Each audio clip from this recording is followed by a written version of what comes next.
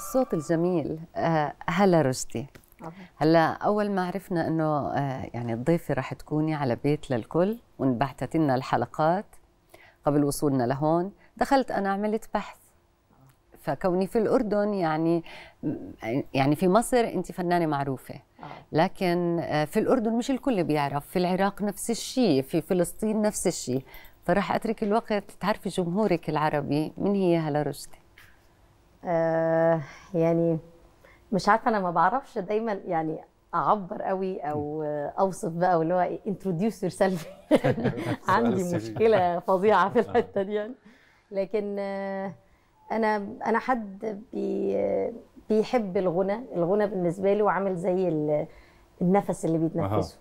و from day 1 لما عرفت إن أنا بعرف أغني وأنا عندي 8 سنين ومن ساعتها بقى هي ده ده بيبقى مصدر من مصادر سعادتي. يعني لما حتى ببقى متوترة أو متضايقة أو حاجة أشغل حاجة وأقعد أغني معاها أنا بروق. وبدأت بقى يعني حاولت إن أنا يعني أجرب قصة الاحتراف دي. لكن حسيت الأول كان في شوية عوائق كده. فجربت إن أنا أستعمل ال social media. أه. ونزلت أول فيديو ليا كان كنت بغني فيه أغنية يا محمد. كانت في فيلم الشيماء. تمام؟ وغنيتها ونزلتها كان في المولد المولد النبوي.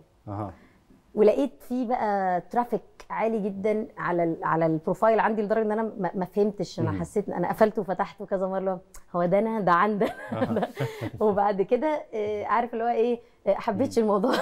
يعني فبدانا رجعنا تاني بقى رحت منزلة حيرت قلبي معاك. آه بعدها نزلت آه أغاني بقى ورا بعض لقيت الموضوع أه. حلو ولقيت آه استجابة الناس حتى إن أنا شكلي مختلف يعني آه محجبة آه شبه البنات عامة يعني. إحنا كمان في ماجوريتي محجبات يعني فأنا كنت حاسة إنه البنات كانت مبسوطة قوي إن في حد منهم أو حاجة بتمثلهم إن إحنا بنات طبيعية جدا بتغني وبتنطلق وبتعمل الحاجة اللي بتحبها أه. فحصل بقى بعد كده إن أنا خلاص بقيت يعني بابليك فيجر في الحتة دي. يعني بقيت إن أنا المغنية المحجبة اللي بتطلع بابتسامتها بتضحك بتحاول إن هي تفرح الناس على قد ما تقدر بتحب الغنى فتلاقيني يعني مبتهجة كده وأنا بغني يعني. هذا هذا الشيء جميل جدا بأن الشخص يصنع بصمة لنفسه مختلف عن الآخر؟ الكاركتر مهم؟